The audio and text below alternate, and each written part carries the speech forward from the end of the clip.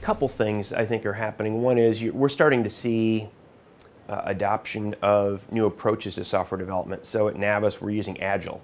So we used to put out one release every year. With Agile, we're putting out releases more frequently. They're better tested, and it gets the software in the hands of the customers quicker so we can actually get feedback. So that, that's going to go a long way, I think, in improving the quality of the software. The bigger change I see happening is that the big operators, terminal operators, are looking at standardizing now. And they're looking at how do we get a standard TOS, standard processes in all our terminals to drive efficiencies. And what that's leading to is more of a focus on off-the-shelf software. So instead of a bespoke system at each terminal, they want to buy a package, they want to be able to customize the package, but then do that and replicate that across terminals. And so I think that's a, a trend that you saw years ago in manufacturing or ERP where everybody had built their own systems. No one builds their own ERP system anymore.